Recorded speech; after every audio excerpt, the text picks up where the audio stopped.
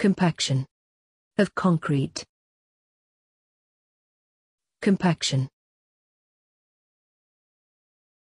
is the process which expels entrapped air from freshly placed concrete and packs the aggregate particles together so as to increase the density of concrete. Methods, hand compaction. Rodding, poking with, greater than 4 feet long, greater than 16 mm diameter rod. The thickness of layers should be less than 15 to 20 cm. Ramming, compaction on ground in PCC, nor used in RCC. Tamping, method in which the top surface is beaten by crossbeam. Methods, mechanical compaction. Internal, needle vibrators. External, formwork vibrators. Table, platform. Surface vibrators, screed machines.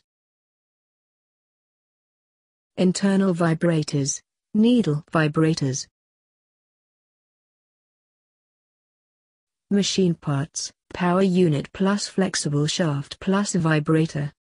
The vibrator needle is immersed into concrete to compact it. Size, 40 to 100 mm in diameter. General range of vibrations, 3000 to 6000 rotation per minute. Period of vibration, 30 seconds to 2 minutes, concrete layers not more than 600 mm high. How to use internal vibrator correctly. Correct way. Incorrect way. External vibrators. External vibrators are rigidly clamped to the formwork so that both the form and concrete are subjected to vibration. Used for thin sections or heavy reinforcements. Common uses, cube test, precast panels. General range of vibrations, 3000 to 9000 rotation per minute. Surface vibrators. In order to obtain a really flat and strong concrete floor. Action is similar to that of tamping. Effective up to depth of 150 mm. General range of vibrations, 4000 rotation per minute. Should not be used when the depth of the concrete is more than 250 mm. Advantages of using vibrators. Reduce air voids in concrete.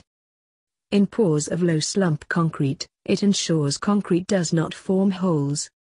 Improved durability and reliability of concrete structures. Finish create smooth and proper surface. Precautions in using vibrators. Make it handier for the operators by recruiting a switch person who holds the cord to the vibrator out of the way and turns it on and off when directed. Wear safety goggles, long pants, rubber boots and a long sleeve shirt.